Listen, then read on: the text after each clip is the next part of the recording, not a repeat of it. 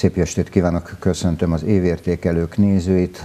Mai vendégem Berze János református lelkész, nagy tisztelettel köszöntöm, tiszteltes úr. Köszönöm a meghívást, én is szeretettel köszöntöm Egy a kedves nézőket. fontos esztendő után vagyunk, záró szakasza még előttünk van, 1500 éves a reformáció, Luther, Mártont és Kálvin Jánost ünnepeltük, ünnepeltünk, emlékeztünk arra a fél évezreddel ezelőtt történt Wittenbergi esetre. Azóta kiderült természetesen, hogy nem tűzte ki a Wittenbergi vártemplom falára a tanait, de ez mellékszál, hiszen egy nagyon-nagyon fontos dátum.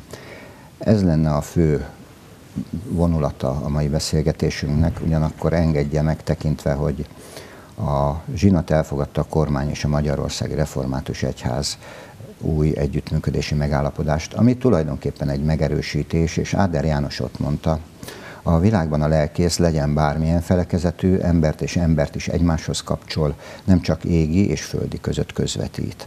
Azt hiszem, hogy ez egy nagyon valóságos mondat. Mit jelent napjainkban a református lelkiség? Hadd legyen ez az első kérdésem. Köszönöm szépen, szerkesztő úr. Hát a, a tartalmas bevezetője az jól mutatja, hogy valóban egy nagyon sűrű évünk van, és hát a reformáció kezdetét ünnepeltük tulajdonképpen ebben az évben, és hát ugye a reformációnak nincs vége ma sem, úgyhogy hát vannak testvéregyházak, akik a reformáció 500 plusz rendezvénysorozatot tervezik mit jelent ma a, a református lelkiség. Én azt gondolom, hogy a református egyház megalakulásában és lelkiségében a kisemberek egyházaként indult el. Tehát nem egy gazdag vagy jól polgárosult közösséget tömörített magában, hanem a kisembereket, földműveseket, iparosokat. És ez a jellege, ez igazából meg is maradt. Természetesen vannak ö, nagy gyülekezetek, mint egy nagyvárosban, Székesfehérváron is egy nagy gyülekezet van, tulajdonképpen a Dunántúli Református Egyházkerület legnagyobb gyülekezete, de mégis lelkiségében mi sem egy elitista közösség vagyunk, Isten országát képviseljük, és képviseljük azzal a sok színnel, hogy közöttünk vannak valóban szegények, vannak jó szituált emberek.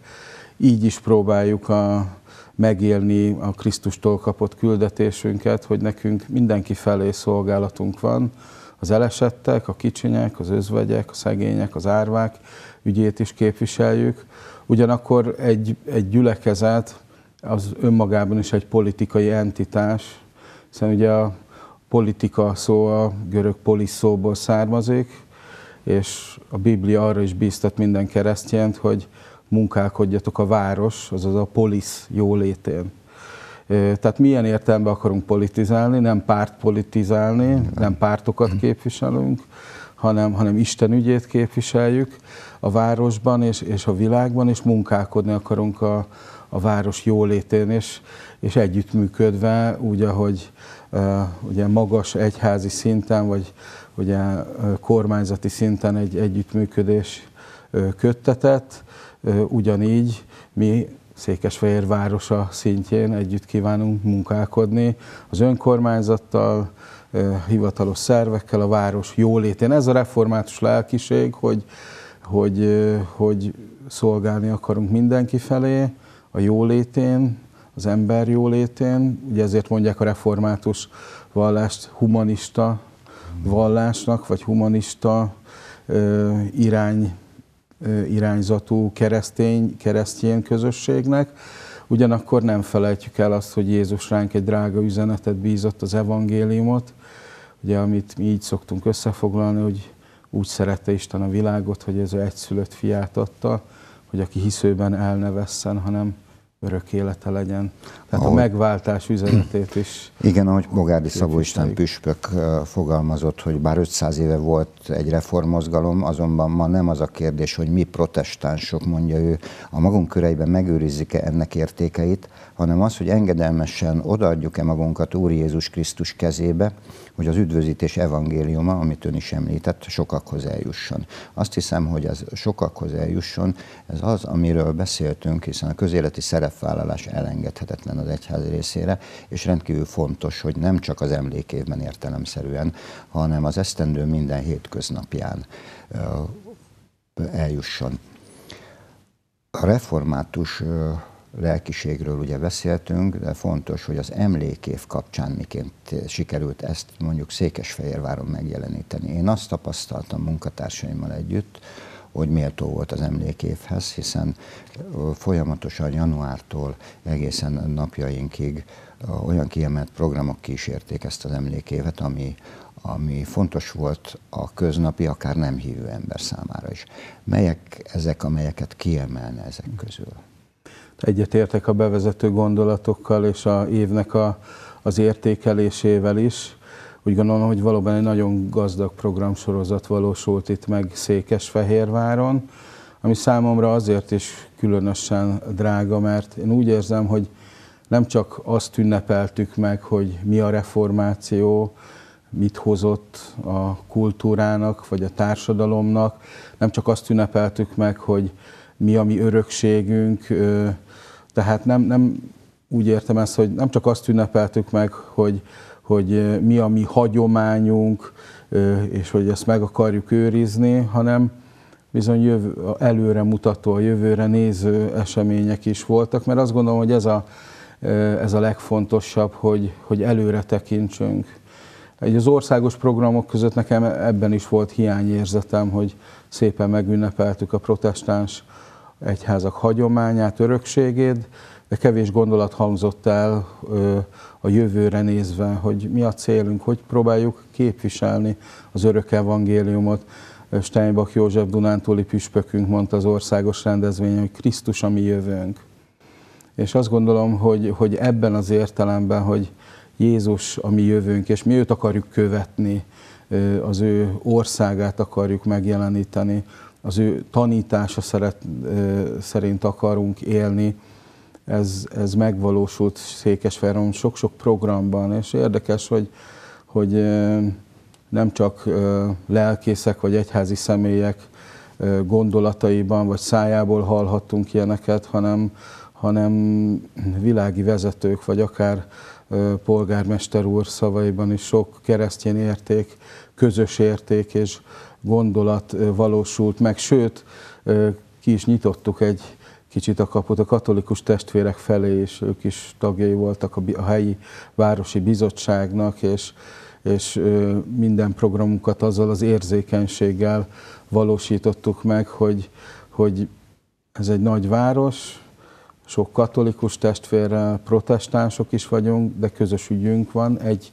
hitben vagyunk, és hát a hivatalos tíz városi program mellett több mint tíz programot valósítottak meg a gyülekezetek, a protestáns gyülekezetek. Tehát ha nem tévedek, összesen legalább 22 vagy 23 rendezvény volt a városban. Hogyha ha, ha, ha kiemelnék egyet közülük, számomra a lelkileg legnagyobb élmény a fákjás felvonulás volt.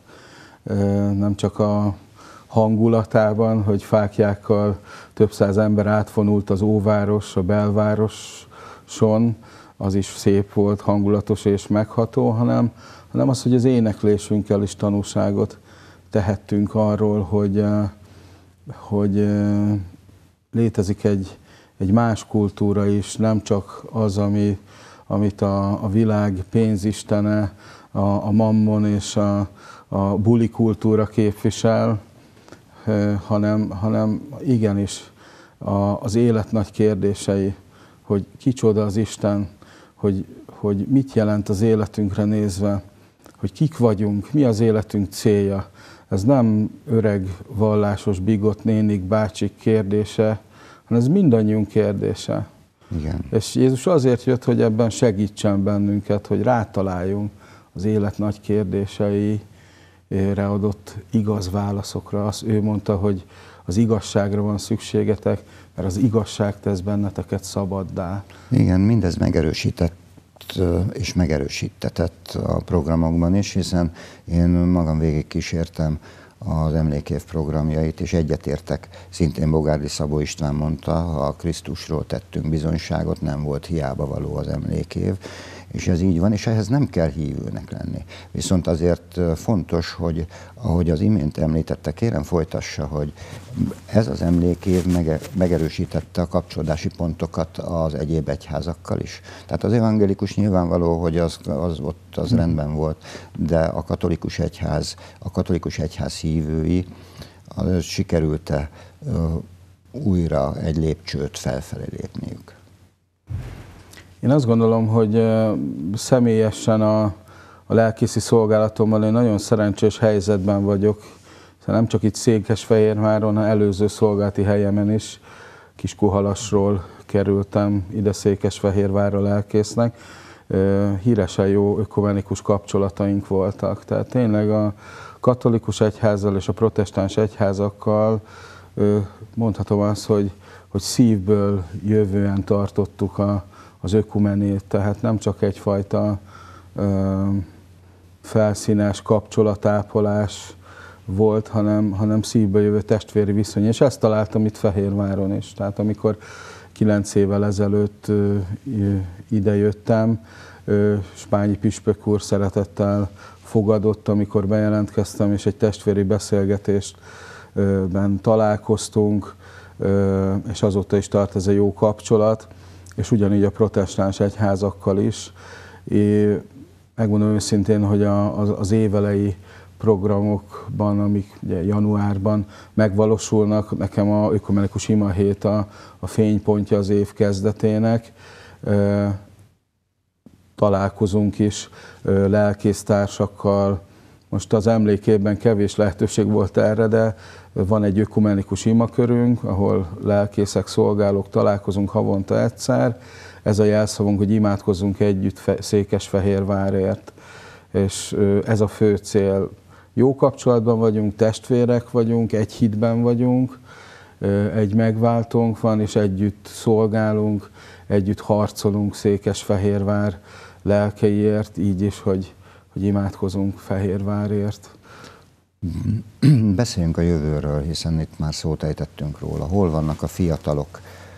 Ez az egyházak egyik legfontosabb kérdése, nyilván a rendszerváltás óta, és szintén idéznék Darvas Mártont, az Ökumenikus Ifjúsági Iroda vezetőjét. Észre kell vennünk, hogy a fesztiválokon ott vannak a fiatalok, ezért ott próbáljuk megszólítani őket. Elég ez? Mit, miként látja? Hiszen a fesztivál azt tudjuk, hogy egy olyan esemény, amelyre külön készül. Az olyan, mint a vasárnap, ha úgy tetszik. Tart, ameddig tart. De mi mindent kell tenniük a hétköznapokon azért, hogy ne csak a fesztivál ünnepnapjai legyenek jelen a fiatalok életében. Köszönöm, ez egy nagyon jó kérdés, és nagyon fontos kérdés, hogy hogy tudjuk megszólítani a fiatalokat. Ez egy nagy problémája a keresztény egyházaknak, hiszen ahogy szokták mondani, az egyház malmai lassabban őrölnek, és hát ugye azok a fajta változások, ami, ami kell ahhoz a nyitottsághoz, hogy a fiatalokkal szembe befogadóbbak legyünk, teret adjunk nekik, otthon érezzék magukat a közösségeinkben. Ezek a változások elég lassan történnek az egyházba. Mind a mellett ugye látunk egy olyan folyamatot, hogy hogy az egyházat is fenyegeti az elvilágiasodás. Ugye szokták azt mondani, hogy hogyha mi keresztjének, keresztények nem megyünk ki a világba, akkor a világ jön be az egyházba. És, és ezt tapasztaljuk, hogy a, a sokféle gondolkodásban, vagy sokféle próbálkozásban egyfajta világiasság, vagy elvilágiasodás veszélye fenyegeti az egyházat, és, és egyre égetőbb kérdés az, hogy, hogy a fiatalokat hogy tudjuk megszólítani, hogy tudjuk Isten nagy családjába beszeretni őket és ott tartani őket. Hát nyilvánvaló, hogy hát oda kell menni, ahol a fiatalok vannak, tehát a fiatalokat nem fogjuk tudni úgymond becsalogatni az egyház falai közé, hanem először is oda kell mennünk, ahol ők vannak. E, erre jó alkalmak a fesztiválok, viszont hát nagyon nehéz az a formák, ahol, ahol meg lehet őket szólítani, vagy, vagy oda lehet őket vonzani egy, egy workshophoz, vagy egy asztalhoz ö, ö, beszélgetni velük. Én egyébként a, a legelső Sziget Fesztiválon kaptam egy keresztjén érintést, akkor már ilyen istenkereső voltam, de hát 16-17 évesen még ugye a fiatalok életét éltem, és, és ott egy, egy, egy tévériporter szólított meg egy nagyon jó kérdés, ami az életről szólt, hogy nekem fiatalnak mi, mi, mi az élet, mik az élet céljaim, és egy riportot készített velem, és, és meglepő volt számomra, hogy, hogy amikor így hirtelen jött kérdésekre próbáltam válaszni, előjöttek belőlem olyan tanítások, amit a konfirmációkor vagy hittanórán hallottam, tanultam, mert nem tudtam más válaszokat adni. És, és ezt most pozitív értelemben mondom, hogy, hogy, hogy nekem ott az igazságot, az élet értelmét kereső fiatalként rájöttem, hogy nekem egyedül az egyházam próbált válaszokat adni. És amikor rákérdeztek, amikor számon kérték tőlem, hogy hát akkor mondjam el, akkor, akkor igenis előjöttek azok a krisztusi bibliai tanítások, pedig akkor én még Isten kereső voltam. Természetesen, hogy hogy érjünk el fiatalokat, én se tudok receptet mondani. Én azt várom a keresztény közösségektől, hogy szeressük őket, lássuk őket úgy, hogy ők is a Isten nagy családjának a részei, az ő extrémitásaikkal együtt. Adjunk teret nekik, hogy, hogy hallassák a hangukat, föltegyék a kérdéseiket, legyen nekik klub helységük, ahol, ahol olyan környezetben lehetnek együtt, baráti körben, ami, ami tetszik nekik, ami számukra megfelelő, és legyenek olyan szolgálók az egyházban, akik, akik értik a nyelvüket, és tudnak velük beszélgetni, mi most már harmadik éve alkalmazunk ifjúsági lelkészt a közösségünkben, Deák Pétert. Ő nagyon jó megtalálta a nyelvet a fiatalokkal, és, és megtalálta azt az utat, hogy, hogy a Biblia és Jézus Krisztus az Isten országának üzenetét elvigye feléjük. Most például létrehoztak egy refpresszót, a gyülekezeti ház emeletén, és ők hívják meg a gyülekezet tagjait Isten tisztelt után, jöjjenek föl hozzájuk a refpresszóba, és beszélgessenek velük egy kávé, tea mellett, és hát én azt látom, hogy, hogy mindig teli van a refpresszó most így adventben az Isten tiszteltek után. Hát ilyesmikre gondolok, hogy, hogy adjunk teret nekik, a zenéjüknek is, Remek megoldás minden esetre. És ha már itt tartunk, tehát a fiataloknál, ugye a Talentum Református Általános Iskolában hit és erköstan tanít ön. Mi újság ott? Hiszen azok a gyerekek többségében nyilván olyan családokból érkeztek az iskolába, ahol a hit nem feltétlenül, a, de hát elsősorban nyilván a protestáns egyházak híveinek gyermekei járnak oda, de ott is megerősítetik. Milyennek a, a hiszen ott kell kezdeni, gyaníthatóan az általános iskolába.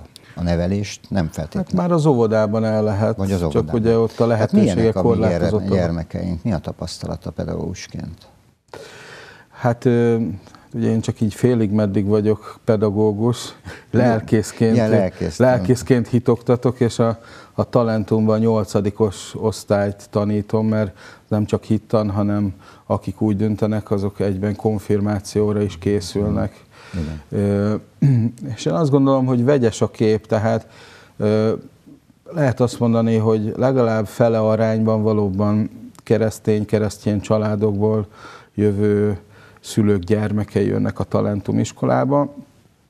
Másik fele részben pedig, pedig olyan szülők gyermekei, akiknek nagy elvárásaik vannak pozitív értelemben mondva, hogy hát azért küldöm a gyerekemet egy ilyen iskolába, mert ott rosszat nem tanul. Ugye sok gyereket így indítanak el a hittarra, és hogy menj el, fiam, ott rosszat nem tanulsz. Hát én is így mentem el konfirmáció órára nyolcadikosként, pedig akkor még épp a rendszerváltás előtt voltunk.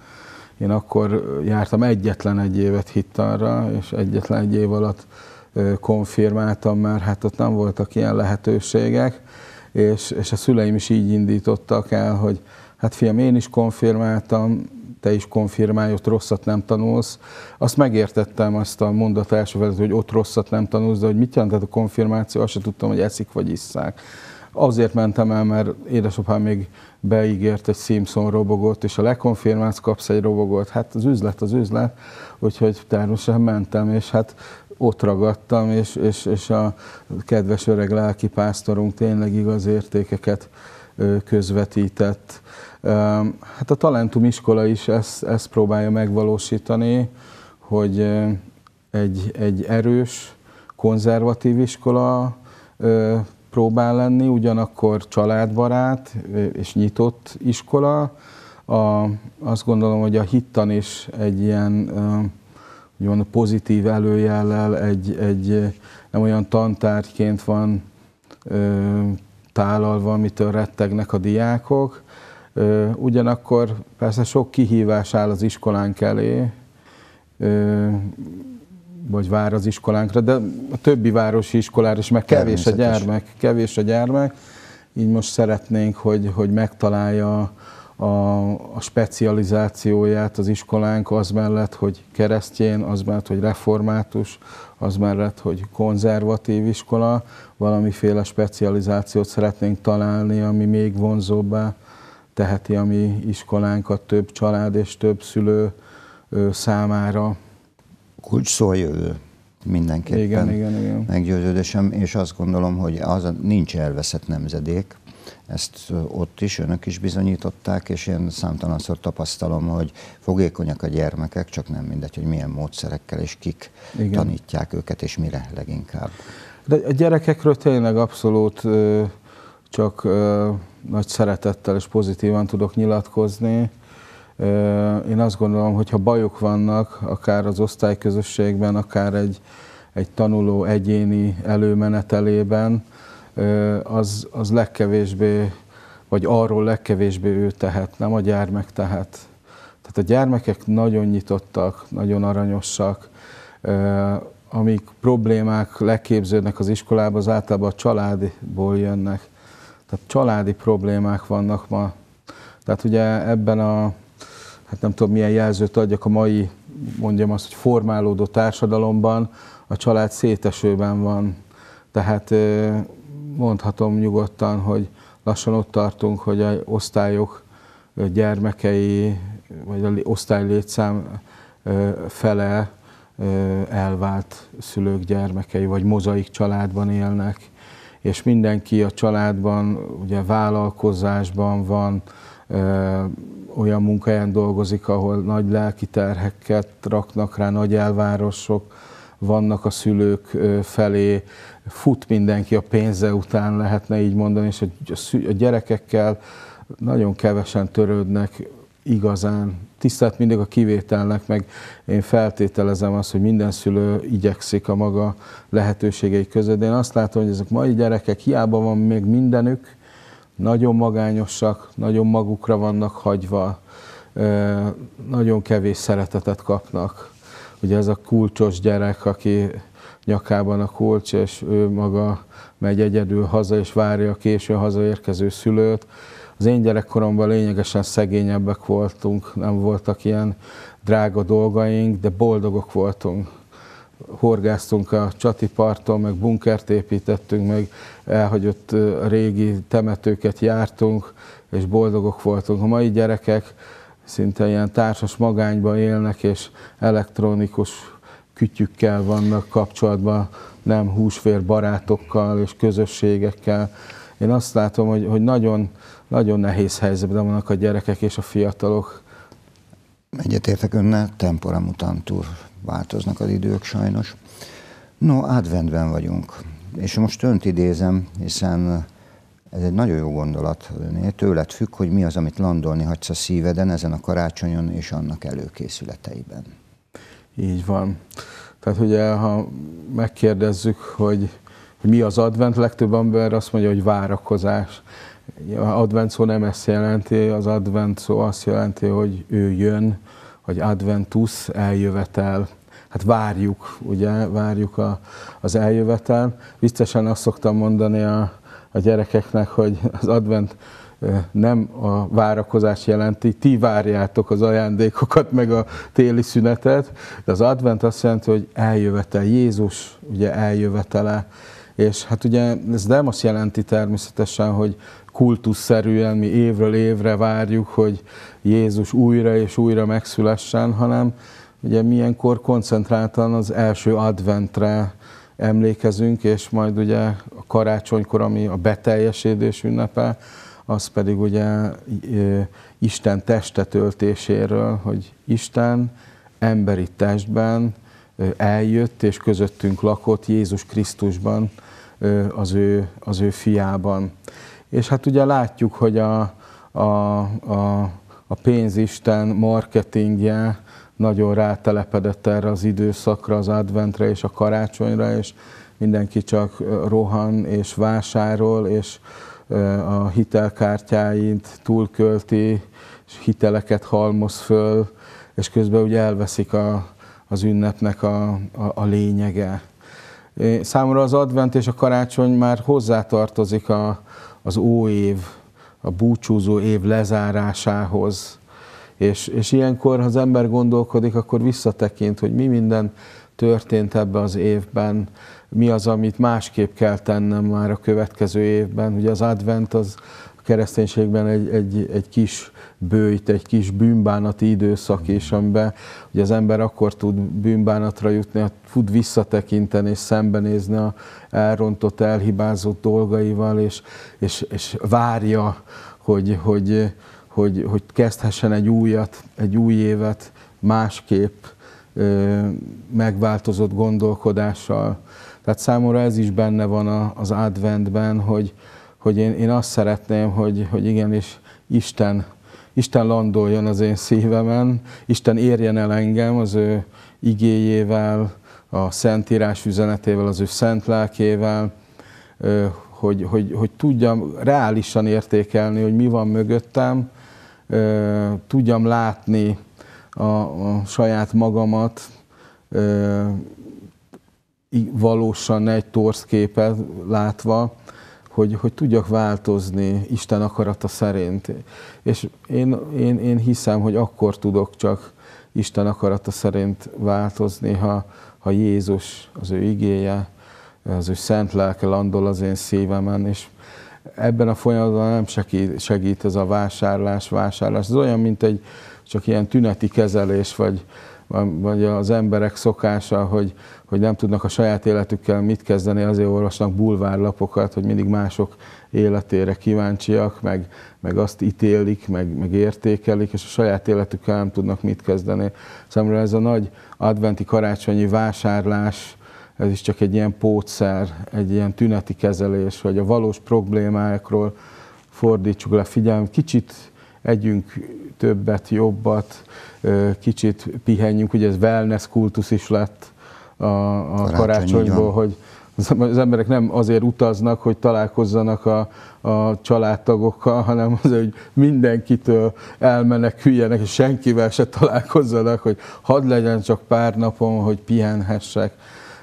Nyilván ez is mutatja, hogy egy milyen csondaráló korban élünk, ahol, ahol az emberek fáradtak, nagy nyomás van rajtuk. Szoktam azt mondani, van, aki a szegénységébe, van, aki a gazdagságába bolondul bele, ugye ezt is látjuk, meg, meg a, a munkával, hivatással járó nagy, nagy terheket, és ez fontos, hogy, hogy ne csak ezeket a tüneti kezeléseket találjuk meg, hogy egy picit jobban érezzük magunkat, picit ünnepélyesen legyen, hanem, hanem ahogy Jézus mondta, az, az igazság landoljon a szívünkön, és, és ő neki legyen Jézusnak jövetele a Rendkívüli a felelősségünk annyi szent, és fontos, hogy egyrészt megfogadjuk az ön tanácsait, a lelki pásztori gondolatai, azt hiszem kellő mélységűek voltak ahhoz, hogy kicsit megbeszéljük azt, hogy mi mindent kéne tennünk, nagyon sok dolgunk van, nem lehet kétségem felőle.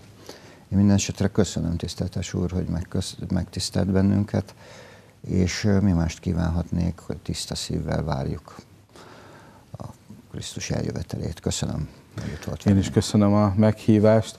Csak záró gondolatként annyit tennék hozzá, hogy az is olyan hatalmas örömhér, hogy, hogy nem csak elvárások vannak, vagy az, hogy sokat kell tennünk, hanem, hanem ilyenkor arra is nézhetünk, hogy Isten mit tett értünk, és, és Isten azért jön, hogy segítsen, és hát engedjük, hogy segítsen. Mert ugye ez, ez is kell, hogy mi engedjünk neki, hát engedjünk neki. Történjék így. Köszönöm szépen.